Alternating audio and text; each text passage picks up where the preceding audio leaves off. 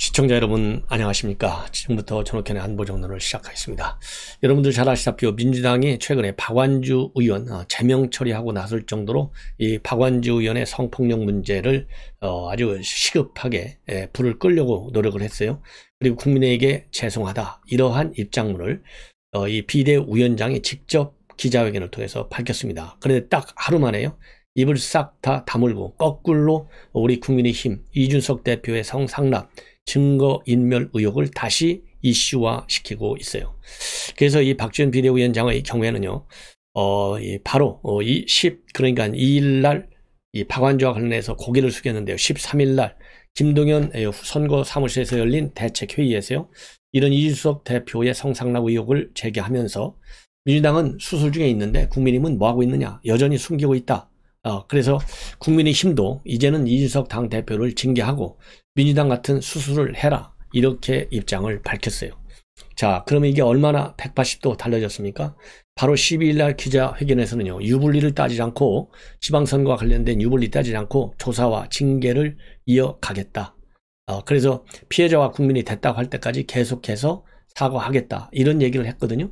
그런데 하루가 지나서요. 이런 얘기는 싹 걷어들이고 거꾸로 우리 국민의힘 이준석 대표를 향한 공세에 열을 올리고 있어요. 그리고 어제 선대위회에서 이재명은 한술 더 떠요. 아예 이 박완주 의원 건에 대해서는 한마디 말도 안 하고 그냥 경기도 얘기만 하자 아, 이런 얘기를 하고 박 의원 사건에 대한 질문이 계속되니까 당 제명 조치에 공감한다 이 정도 말하겠다 하고 또 입을 딱 씻쳐요. 그만큼 박완주 성폭력 문제가 이번 지방선거에 미치는 영향이 크다는 얘기가 아니겠습니까? 그래서 지금 민주당은요 이준석 대표 그 다음에 윤재순 전 대검 운영지원과장 이번에 에, 대통령실의 총무비서관으로 발령났잖아요. 이거 성비위 문제. 여기에 화살을 온갖 아, 지금 퍼붓고 있어요. 자 이러한 민주당의 전략에 대해서요. 지금 제가 보도를 쭉 보니까 아니다. 이거 민주당이 이렇게 해봐야 오히려 더 역풍이 분다. 이런 전망이 더 많이 나오고 있어요. 그리고 그리고 이제 우리 국민의힘에서도요. 성범죄 어, 범죄 못지않게 심각, 한 범죄는 2차 가해 그리고 은폐 시도다. 이 박완주 사건이 작년 연말에 발생했잖아요. 그런데 지금 이게 오늘이 5월 14일이니까 거의 반년을 은폐했잖아요. 그래서 이 은폐한 것이 더 큰 문제다. 그래서 우리 국민의힘에서도요. 또 가차 없이 이 반박을 하고 나섰어요. 참고적으로 이번에 이 박완주 의원 사건이 딱 터지니까 일주일 사이에 민주당 지지도가요 급격히 하락하고 있어요. 10%나 31% 예, 지난주 대비 10% 떨어졌고 특히 박완주가 있는 지역구 천안에서 어, 천안이 포함된 충청도에서 민주당 지지율이 급격히 하락하고 있다고 합니다. 49%에서 30% 떨어지고 있다고 해요. 예, 갤럽. 자, 그래서 국민의힘에서는요, 이 민주당은 성범죄 DNA 가진 정당이다. 가해자 중심주의 정당이다. 아, 그래서 성범죄 전문당이라고 해도 과언이 아닐 정도가 된다. 따라서 이 민주당은 이런 피해자에 대해서는 선택적 침묵, 그리고 국민들 앞에서는 여성 인권을 강조하는 이중적 행동을 보여주고 있다. 이런 점을 지적하면서 민주당과 박완주 의원은 꼬리 자르기 제명과 보여주기식 사과로 사건을 덮고 잊혀지고 싶겠지만은 피해자와 국민들은 결코 용납하지 않을 것이다. 이러한 입장을 내놓고 있습니다. 그리고 이렇게 민주당이요. 지금 국민의힘의 이준석, 어, 그 다음에 총비서주 윤재순 이런 비판과 관련해서 이 진중권 교수는요. 뭐라고 어, 발표를 입장을 밝혔냐면 이러한 박지현 어, 위원장 이중적 행동과 관련해서는 쓸데없는 말을 한 것 같다. 예, 그래서 이 사안은 이 사안이고 그 사안은 그 사안인데 서로 연동하는 순간 물타기가 되기에 그렇게 정치화해서는 안 된다. 그러면서요. two wrongs don't make. 그러니까 두 개 잘못됨이 잘못이 하나를 올바르게 만들어내지 못한다. 이런 말까지 꺼내면서 자기 문제부터 면절해라. 먼저 해결하라. 즉 민주당의 이러한 성폭력 문제를 먼저 해결, 해결하라. 이렇게 지적을 하고 쟤네들은 그래요. 라는 건 올바른 태도가 아니다. 그것은 다른 문제다. 여기서 쟤네들은 이제 민주당에서 국민의힘 공격하는 것을 얘기하겠죠. 자, 이러한 이 모순을 벌이고 있습니다. 예. 그리고 또 하나 모순된 거. 이 민영배가 꼼수 탈당을 했잖아요. 근데 꼼수 탈당을 해가지고 검수 완박법이 다 통과가 됐어요. 목표가 달성됐잖아요. 그런데 어떤 일을 벌이고 있느냐. 바로 광주시당에서요. 어제, 어제, 이 공천장, 즉, 어, 이번 지선에 출마하는 사람들의 공천장 수여식에 참석을 했고 또 인사말도 하고 사진도 찍고 그리고 특히 말이죠. 12일 출범한 강기정 광주시장 후보 선대위에서는요. 공동 상임 선대 위원장까지 맡고 있어요. 양영자 의원만 빠졌어요. 이 사람은 무소속이니까. 자, 이걸 보면 뭡니까? 아, 완전한 위장 탈당, 탈당이다. 이게 명백해진 것 아니겠어요? 네. 그래서 이 국민의힘 광주 시당에서는 이거야말로 기득권을 지키기 위해서 국민과 광주 시민을 기망하는 행위다. 그래서 민영배 의원은 소속이 어디인지 똑바로 밝혀라 이렇게 요구하고 있습니다. 자 그리고요 민영배가 이렇게 꼼수 탈당을 해서 검수 완박법이 통과되는데 기여했다. 이거를 높이 평가해 가지고요 이 여성 여촉 카페인 여성시대 그리고 이 재명인의 마을 그리고 민주당 2030 여성 당원들 그리고 모든 주권자들께 깊이 감사한다. 이런 민영배 의원이 입장을 내놨어요. 왜냐? 바로 여초 카페에서요. 감세파를 받았어요. 검소한 박 통과하는데 기여했다고. 아 이거 참 우리 국민을 너무나 우습게 하는 것이 아니겠느냐 이런 생각이 들어요.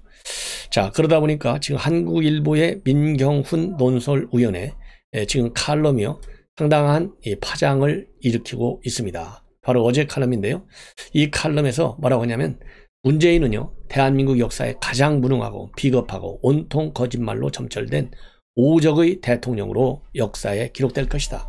완전히 정말 한국일보 답지 않게 왜냐하면 한국일보는 친여 매체나 친민주당 매체잖아요. 친문재인 매체. 여기에서 논설 우연이요. 어, 문재인 대통령이 지난 5년간의 문제점들, 예, 자화자찬들, 그리고 정책의 실패 현상들 이런 거를 하나씩 전부 나열해 가면서 칼럼 전체를요. 이 문재인 대통령의 실정 그리고 자가당착 자화자찬의 문제점 이런 거를 지적하는 칼럼을 실었어요. 자 이거를 뭐 제가 일일이 설명드리지 않아도 다 아실 텐데 우선 뭐라고 시작하냐면요. 모든 대통령을 직무를 시작하기 전에 취임사라는 것을 하는데 자신의 국정 철학과 앞으로 어떤 정책을 펼친가를 국민에게 밝힌다. 이건 뭐 당연한 거 아니겠어요?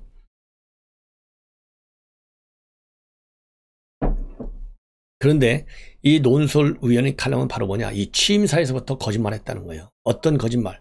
한 번도 경험해보지 못한 나라를 만들겠다. 그러면서 과거에 권위적 대통령 문화를 청산하겠고 광화문 대통령 시대를 열겠고 그리고 퇴근길에는 시민들과 격의 없이 대화하겠고 광화문 광장에서 대토론회도 열겠고 특권과 반칙 없는 사회도 만들고 비정규직 문제도 해결하겠고 그래서 기회는 평등하고 과정은 공정하며 결과는 정의로울 것이다. 이렇게 얘기했는데 이거 단 하나도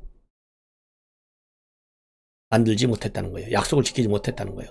아무리 생각해도 딱 지킨 것은 한 번도 경험하지 못한 나라를 만들겠다는 것 딱 하나를 제외하고는 지킨 것이 전혀 없다는 겁니다. 왜?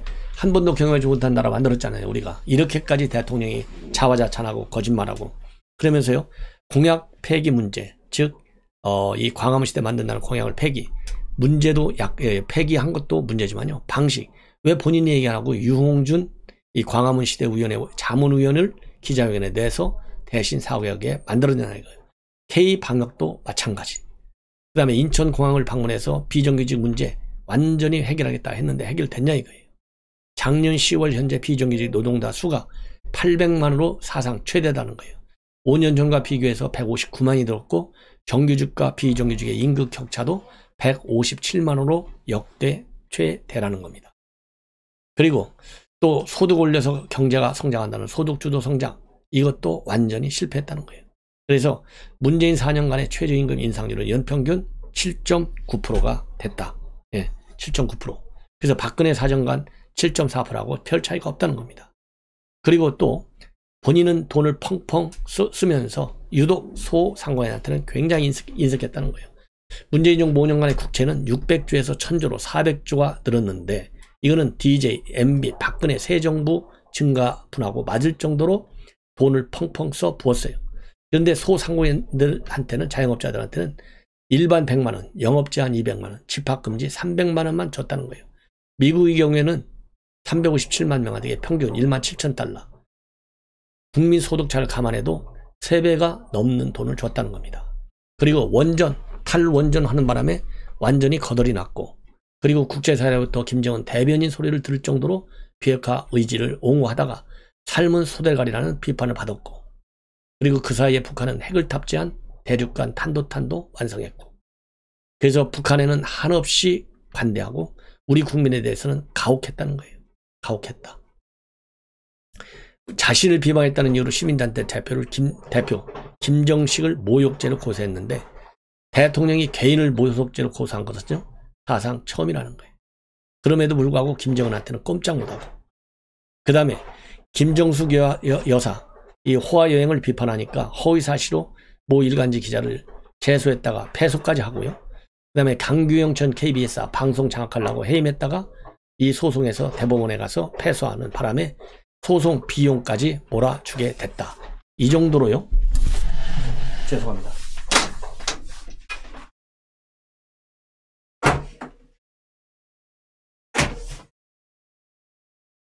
아, 죄송합니다. 밖에 소음이 좀 커가지고요. 이 정도로, 이 정도로 이 문재인 대통령의 문제가 너무나 많다는 겁니다. 특히 검수안박법. 이거는요, 이거는 상상할 수 없는 큰 실책이라는 거예요. 자신의, 자신을 갖다가 검찰의 칼끝으로부터 보호하기 위한 조치밖에 더 되느냐. 그러면서, 그러면서 마지막 인터뷰 내용. 자화자찬, 후임자 비난으로 가득한 거. 이것도 참 좀스럽고 비겁한 대통령. 이런 대통령 본 적이 있느냐? 그러면서요. 그의 상관이었던 노무현 대통령은 문재인을 보고 당신은 정치하지 말라라고 했다는데 그 해안이 돋보인다. 아주 좋은 칼럼인 것 같아요. 민경훈 논설위원의 칼럼이었습니다.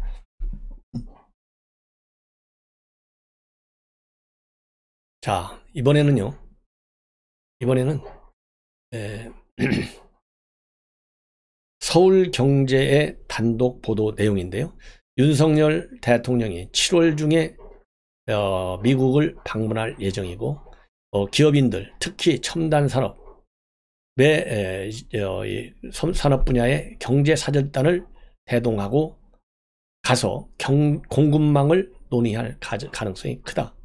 이러한 지금 보도가 나오고 있습니다. 그래서 이 관련 내용을 보면 원래 미국 답방 시점을 8, 9월 정도로 예상을 했는데 한미 한모 그 다음에 경제동맹 협력 관계를 강화할 때 더 땡겨야 된다. 이러한 판단을 현 정부가 하고 있다. 이런 보도가 지금 나오고 있어요. 그래서 이 답방 문제는 바이든 대통령 방한 전후에 본격적으로 논의할 것이다. 예.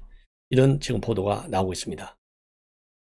그래서 지금 만약에 윤석열 대통령이 만약에 7월에 답방을 하게 되면 삼성전자, SK, 현대차, LG 이러한 대비 투자를 단행하고 있는 CEO들도 경제사절당으로 함께 할 것으로 예상이 되고 있고 또 삼성전자나 현대차 사업장을 현지 사업장을 직접 방문할 가능성도 있다. 예. 작년 5월 문재인 대통령이 미국을 방문했을 때는요. 최태원 SK그룹 회장을 비롯해서 4대 그룹 CEO가 모두 바이든 대통령과 조우한 바 있습니다. 그래서 당시 바이든 대통령은요, 이 백악관에서 이러한 CEO들을 기립시켜서 44조 정도의 대미 투자 사실을 대대적으로 홍보를 한 바 있어요. 그래서 어, 이번에 이제 에, 윤석열 대통령 지난 10일 날 이런 네, 그룹 어, 대기업 회장들 취임 만찬을 만찬에 초대했지 않습니까? 이 자리에서 윤석열 대통령 첨단 기술 공급망 보온과 같은 글로벌 현안에서 더욱 실천적 협력을 강구해 나가겠다. 바이든 대통령 방안은 새로운 글로벌 전략 공조의 첫 걸음이 될 것으로 기대한다. 자, 이런 입장을 내놨기 때문에요. 이런 대, 기업들 어, 상당히 문재인 정권과는 다르게 그 국가 경제에 기여한 만큼 윤석열 정부로부터는 거기에 상응하는 대우를 받을 가능성이 매우 큰 것이 아니겠느냐.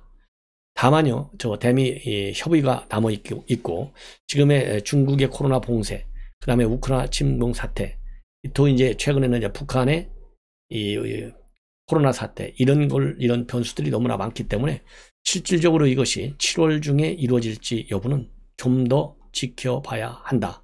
아, 이런 지금 보도도 나오고 있습니다. 자, 그런데요.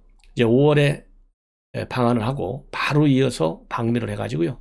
한미 동맹이 지난 5년 내내 무너졌기 때문에 한미 동맹이 얼마만큼 빠른 속도로 정상화되느냐 이거를 보여주고 이 글로벌 커뮤니티에서의 윤석열 대통령의 데뷔전 이거를 좀 더 적극적으로 또 이 공세적으로 어, 할 필요가 있을 것 같아요. 왜냐하면 지금 국제사회도 어, 이 취임식 전후를 해서 어, 많이 윤석열 당선인, 당신은 이제 당선인 대통령 그리고 우리 주한 어, 이 외국 공관장들이 많이 접촉을 했지만은요, 어, 미국을 갔을 경우에 이 국제사회에 말하자면 윤석열 어, 대통령의 여러 가지 대내외 에, 이 외교 정책 또 우리 국내 정책 방향 왜냐하면 우리 국내 경제도 어, 지금 뭐 이 해외 시장성 어, 시장 의존도가 전 세계에서 제일 높은 국가 중에 하나잖아요. 그렇기 때문에 대통령의 워싱턴에서의 데뷔전은 굉장히 정치 경제적으로 또 문화적으로 오늘날, 오늘날 이, 이 K-culture가 전 세계적인 하나의 큰 문화 흐름으로 지금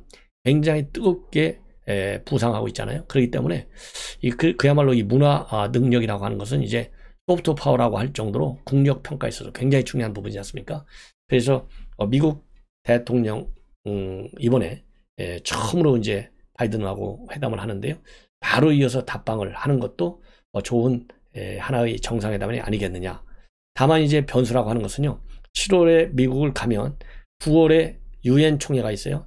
이번 유엔 총회는 당연히 윤석열 대통령이 처음 맞이하는 유엔 총회고 글로벌 정상들과의 다양한 형태의 양자 정상회담을 뉴욕이라고 하는 한 군데서 집중적으로 할 수가 있어요. 그렇기 때문에 연거푸 이제 두 번 나가는 것이 우리 국민들 눈에 어떻게 비춰질 것이냐라고 하는 점도 중요한 변수가 되지 않을까 이런 이런 생각이 듭니다.